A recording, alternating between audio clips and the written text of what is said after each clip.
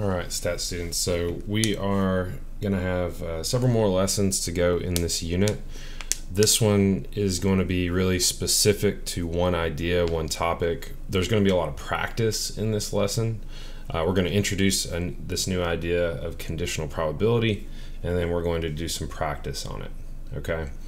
Um, there have been new worksheets added. You're only going to get two additional on top of the problem set. So make sure that you get on Kiddom and look at those. Uh, but we're going to go ahead and get started into this lesson. Okay, so in your notes, go ahead and draw yourself a line. And uh, right underneath that, you're going to put conditional probability. And then we are going to write our definition down for that. Uh, so that means I'm going to go ahead and pull up the PowerPoint. Here it is.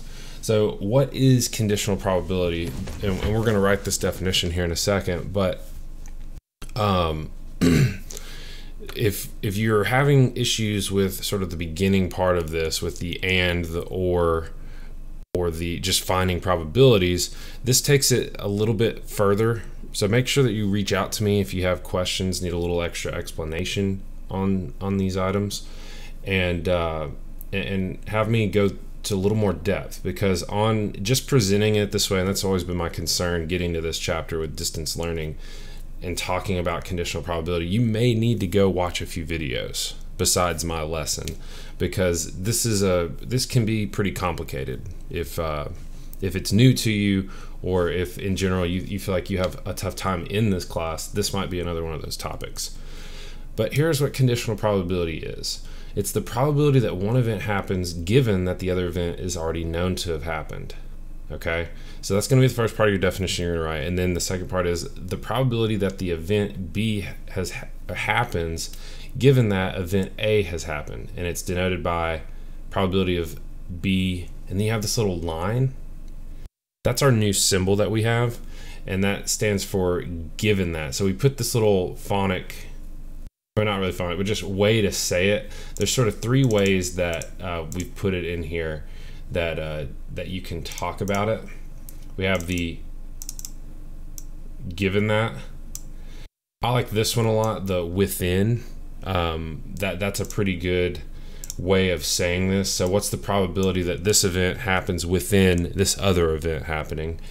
And then we have this under the condition that. Now there's a lot of questions or several questions in your problem set. We'll be looking at one or, or so today that um, that can be answered using conditional probability. Okay, so let's go ahead and write this. I'm going to pause it. All right, so the next thing that we're interested in is the formula.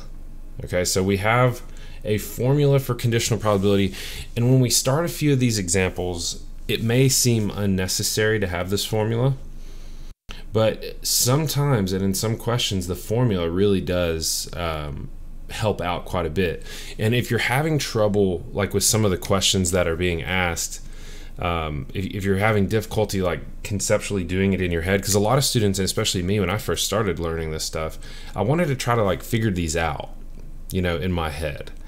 And in, in just so many ways, you can't really do that in every question that you're going to come across.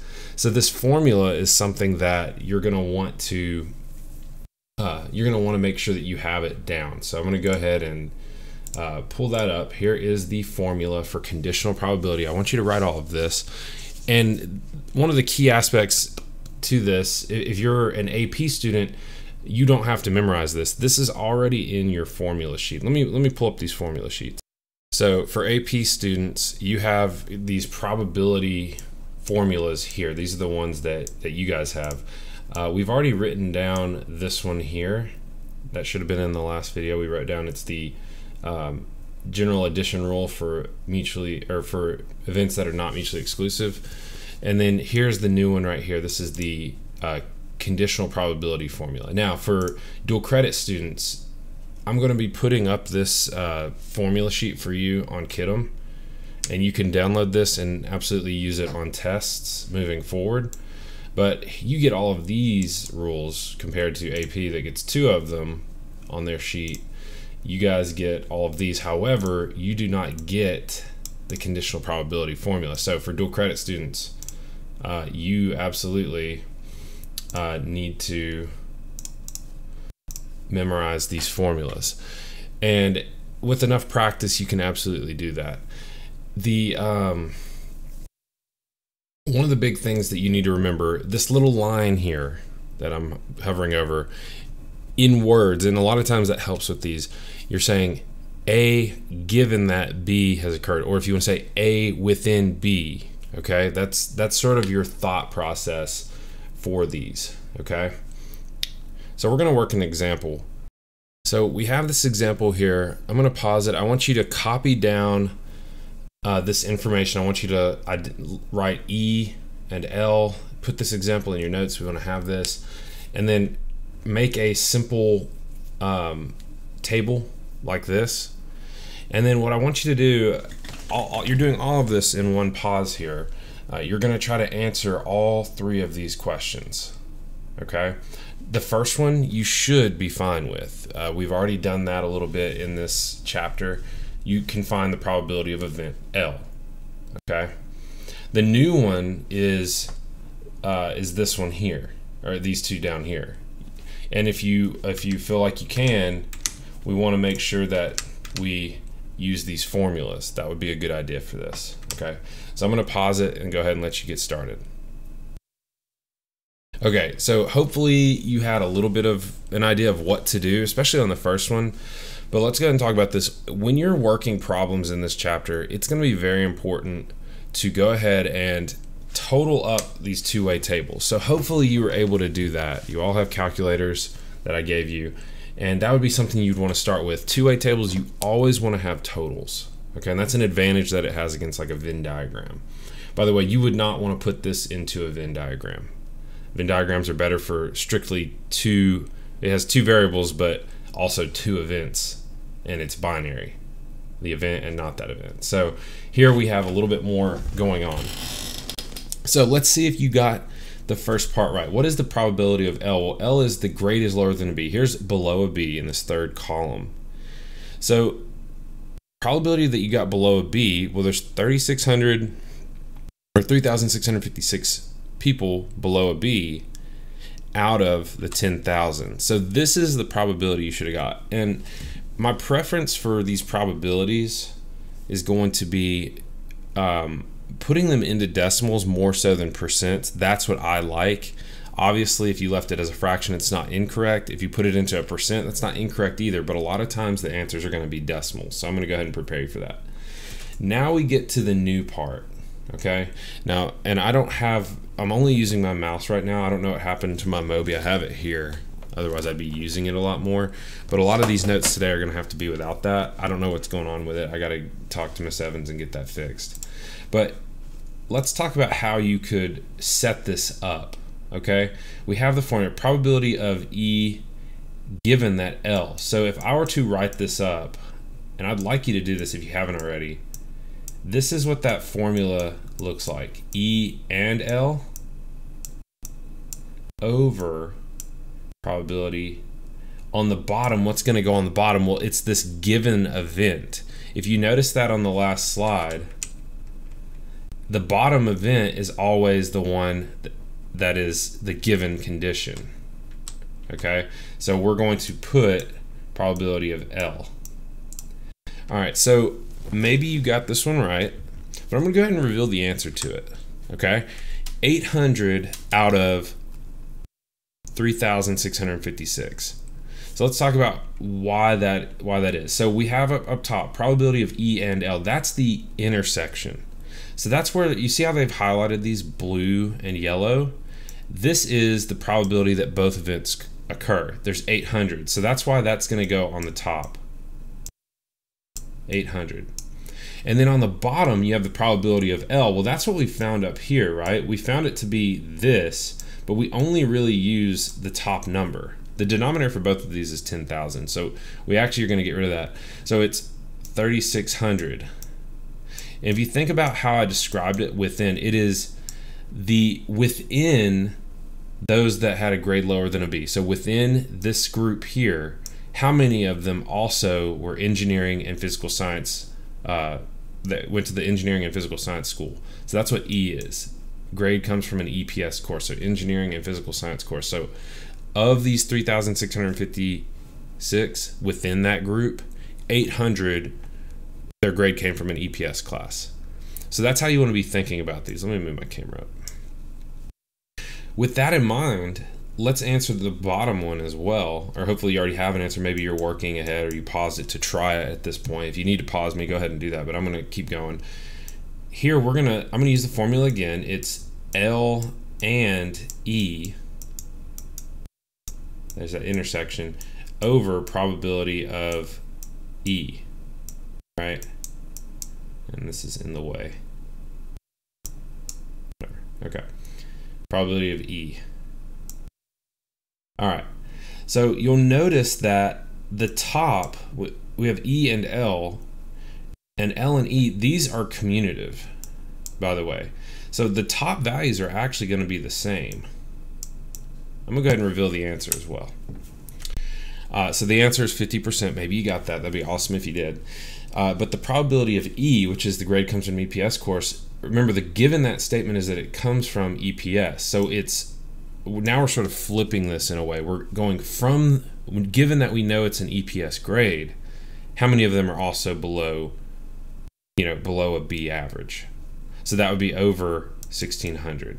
So 1600 is the group that it's within out of 800. Okay. So that's uh that's sort of the thinking that you want to have within this uh this chapter and for this this skill. So we're not going to go into a new topic. We're just going to practice this a little bit more. So uh, we're going to go into the uh, practice uh, problem set. Okay, so we have uh, number 69 here. This one is a uh, conditional probability. And so I want you guys to understand how to set this up and what, what we need to do here. So I'm going to go ahead and, and pause it and give you a chance to to answer it. I'm going to move my camera down there. So go ahead. I'm going to pause it. You guys read the question and uh, and try to get an answer A, B, C, D, E. Let me go ahead and do that.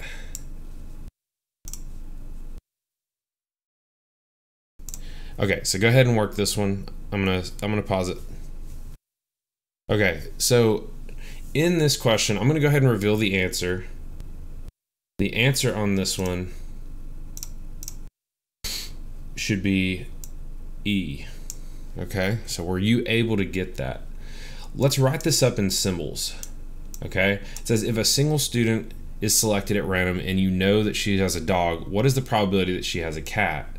So the first thing you're doing, we already told you this is conditional probability. So let's we're also going to talk about how do you identify conditional probability compared to like a normal probability that you're trying to find. Like on in our PowerPoint, um, we had this one. How did we know that it's not like a basic probability like the first part? And how do we know that we're going to be using this? Because it's not really saying that directly.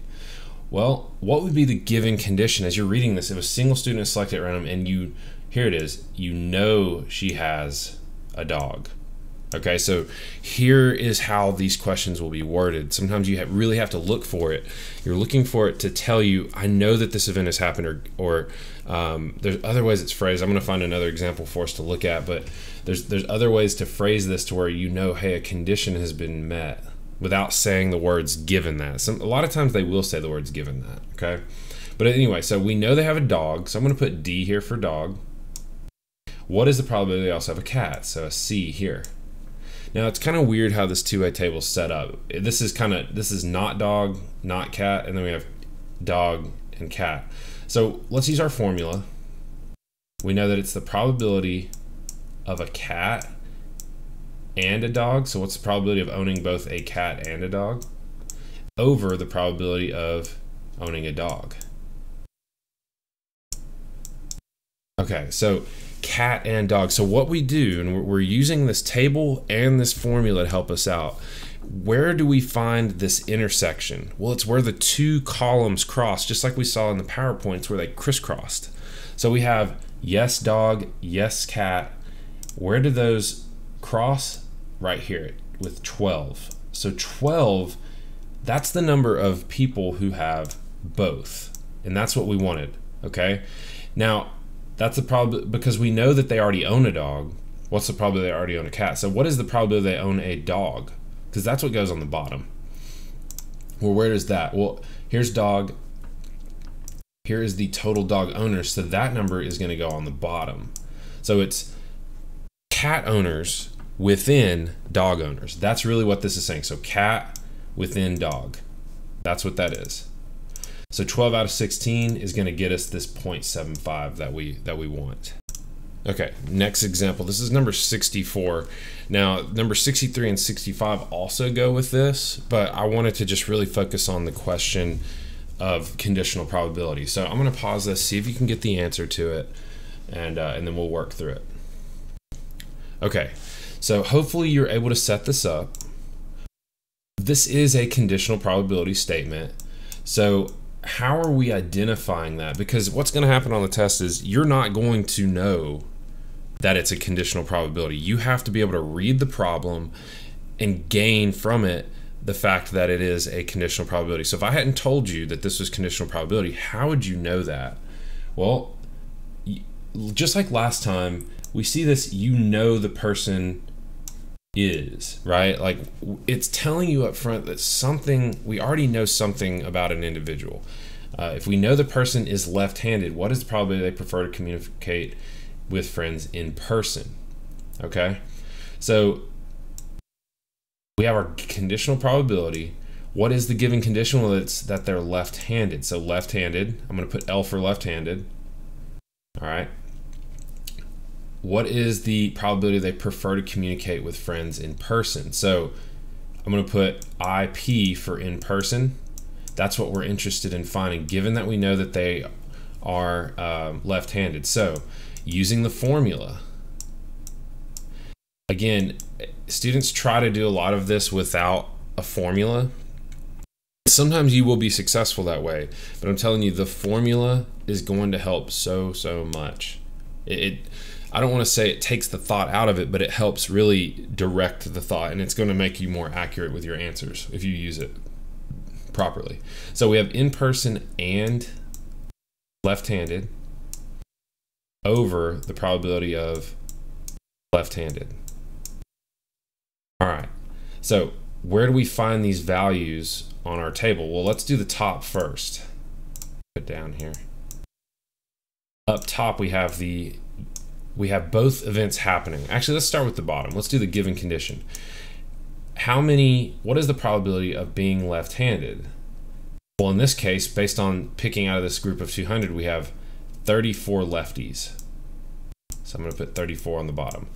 What is, of that group, we want to know how many of those communicate in person. Really what we're looking for is the intersection of both events, which happens here left and in person, so there's 13. So there's multiple ways you can think about it, but uh, oh, and my camera's in the way. Whoops. There we go. Sorry. So we have 34 that goes on the bottom, 13 goes on the top. Okay.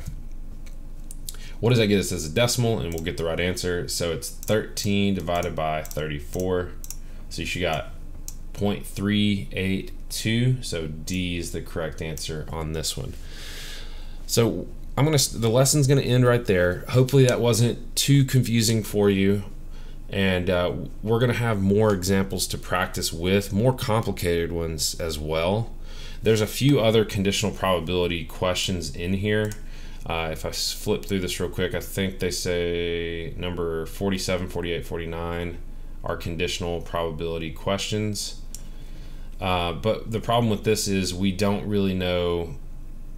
Uh, we don't know what independent really is yet. That's going to be in the next lesson. And then number 49, you probably can do that one, but you have to set up the sample space. So that one's pretty tough. Um, you can probably you can answer number 47. Number 47, you're going to need to use the formula for that. Okay? You are going to need to use the formula for that.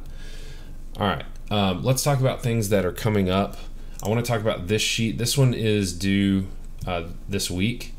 This is a Venn diagram two-way table sheet. There's three parts to it. It shouldn't take too long, but that's going to be due the 13th, November 13th. Make sure that you get that done and turned in.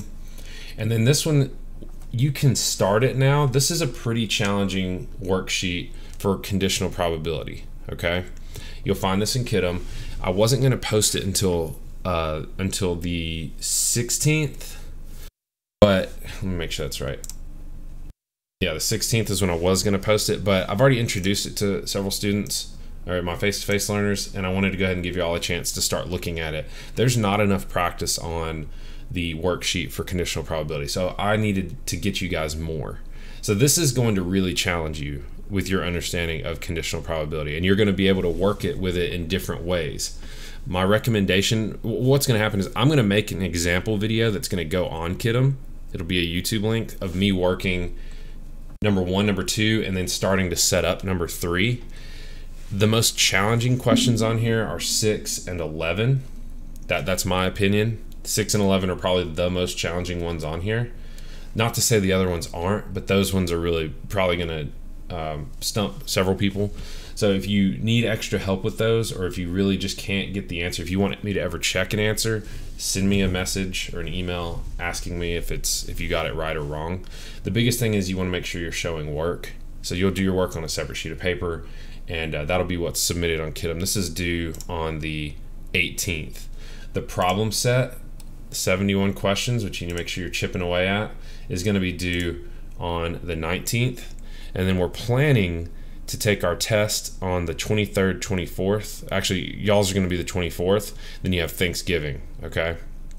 So 24th is going to be our projected test date for the, this. Um, and the problem set's due the 19th so that's really what's going on with this class. If you have any questions, please let me know.